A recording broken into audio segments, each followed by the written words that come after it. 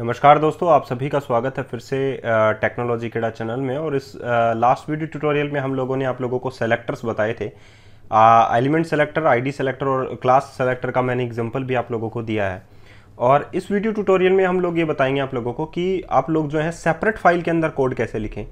कि हमारा जो एक्चुअली में ये जितना भी कोड होता है, वो हम लोगों को सेपरेट फ़ाइल में अगर हम लोग लिखेंगे तो अच्छा रहेगा। क्योंकि अगर हम लोग एच में ही सेम सिमिलर चीज़ों को मिलाते गए तो एक घिचपिच जैसा हो जाएगा। और वो मैं चाहता नहीं कि एच के साथ जो है आप लोग जावास्क्रिप्ट के कोड को लिखें। सिर्फ़ एक रेफरेंस आप लोग ऐड करें। और उस, जैसे कि ये जो रेफरेंस आप लोगों ने ऐड किया है लाइब्रेरी फ़ाइल का, वैसे ही आप लोग जो है, जो अपना कोड लिखते हैं, उसको भी एक सेपरेट फ़ाइल में लिखें। तो उसके लिए आप लोगों को क्या करना होगा जैस जेएस फोल्डर को आप लोग सेलेक्ट करें, उसमें एक नई फ़ाइल जो है आप लोग क्रिएट करें। और उस फ़ाइल का नाम आप लोग रख सकते हैं my J S dot my J S dot J आप लोग रख सकते हैं इसका नाम। जावास्क्रिप्ट फ़ाइल है तो आप लोग जे जो एक्सटेंशन है, वो रख सकते हैं। तो इस प्रकार ये देखिए माई जे डॉट जे नाम से आप लोगों की फ़ाइल बन गई। और यहाँ पर आप लोग जितना भी कोड लिखते हैं, वो सारा का सारा जस्ट आप लोगों को कॉपी करना है। यहाँ से मैंने जस्ट कट किया है। और माई जे के अंदर मैंने यहाँ पर पेस्ट कर दिया, ठीक है? अब सिमिलरली आप लोगों को ये स्क्रिप्ट लिखने की ज़रूरत नहीं है। इतना टैग लिखने की ज़रूरत नहीं है। जस्ट आप लोग इसको कॉपी करें। और पेस्ट कर दें नीचे। और यहाँ पर आप लोगों के जी फोल्डर में ही वो फोल्डर है तो आप लोग जस्ट यहाँ से लिखें देखिए। माई जी डॉट जी आ गया आप लोगों के पास। इंटेलिजेंस जो है यहाँ पर विद्युत स्टूडियो कोड का वर्क कर रहा है तो आप लोगों को है आ, आ, याद करने की या आप लोगों को देखने की ज़रूरत नहीं है फ़ाइल को ऑटोमेटिकली ये पिक कर लेता है। तो इस प्रकार आप लोग जो है इसको ऐड कर सकते हैं।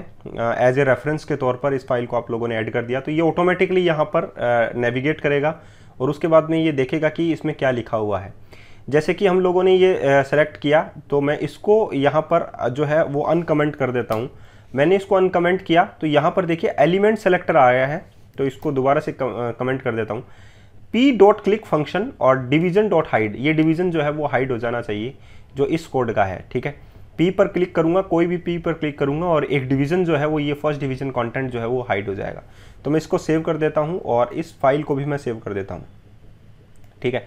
कंट्रोल एस से मैंने सेव कर दिया है और इंडेक्स डॉट से एस में मैंने इसको रेफरेंस कर दिया है। ठीक है? तो अब सारा का सारा code my my J S dot J S के अंदर मैं आज हम लोग, आप लोगों को बताएँगे क्योंकि उसका रेफरेंस हम लोगों ने index dot C S S के अंदर ऐड कर दिया है। तो चलिए हम लोग इसको देख लेते हैं कि इसका जो आउटपुट है वो कैसा आता आप लोगों के पास।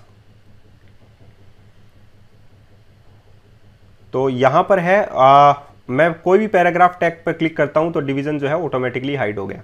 तो इससे आप लोगों को समझ में आ गया कि जो कंटेंट हमारा था एक्चुअली में वो वैसा है लेकिन हम लोगों ने जावा स्क्रिप्ट कोड को अलग कर दिया है। तो ये देखिए कितना सुंदर आप लोगों को लग रहा है बॉडी टैग है यहाँ पर आप लोगों का स्क्रिप्ट है। और यहाँ पर आप लोगों का जे जे एस जो है वो यहाँ पर एक सेपरेट फ़ाइल में है। तो सेपरेट फ़ाइल के अंदर जे एस को कैसे हटाएँ और एस के अंदर उसका रेफरेंस कैसे ऐड करें, इस ट्यूटोरियल में मैंने आप लोगों को ये समझाने की कोशिश की है। आई थिंक आप लोगों को इंटरेस्टिंग लगा होगा अगर आप लोगों को टेक्नोलॉजी कीड़ा के सभी वीडियोस अच्छे लगते हैं तो डेफिनेटली आप लोग इस चैनल को सब्सक्राइब करेंगे। इसे लाइक करेंगे इस वीडियो को और इसको शेयर करेंगे ताकि दूसरे लोग भी आसानी से पढ़ सकें इन चीज़ों को और हर एक चीज़ बारीकी से समझाने की कोशिश करेंगे टेक्नोलॉजी कीड़ा के माध्यम से और आप लोगों को इंटेलिजेंट बनाने की भी कोशिश करेंगे। तो टेक्नोलॉजी के साथ जुड़िए, बात कीजिए हमसे और अगर आप लोगों को कोई भी डाउट्स हो तो वो कमेंट्स के ज़रिए पूछिए। हम लोग आप लोगों की हर वो प्रैक्टिस जो है हेल्प करेंगे जो आप लोगों को चाहिए। आज के लिए इतना ही, फिर मिलते हैं नए वीडियो के साथ। धन्यवाद।